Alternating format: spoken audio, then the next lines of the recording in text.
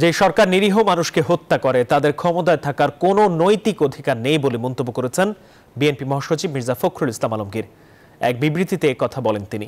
BNP মহাসচিব বলেন, গত কয়েকদিনে কতজন নিরীহ মানুষকে হত্যা ও পঙ্গু করা হয়েছে তা প্রকাশ করতে হবে। বিবৃতিতে তিনি আরও বলেন, ছাত্র জনতার ন্যায়সঙ্গত আন্দোলন দমনে সেনাবাহিনীকে ব্যবহার গ্রহণযোগ্য নয়। সেনাবাহিনীকে ব্যারাকে ফিরিয়ে নেওয়ার আহ্বানও জানান দলটির এই শীর্ষ নেতা।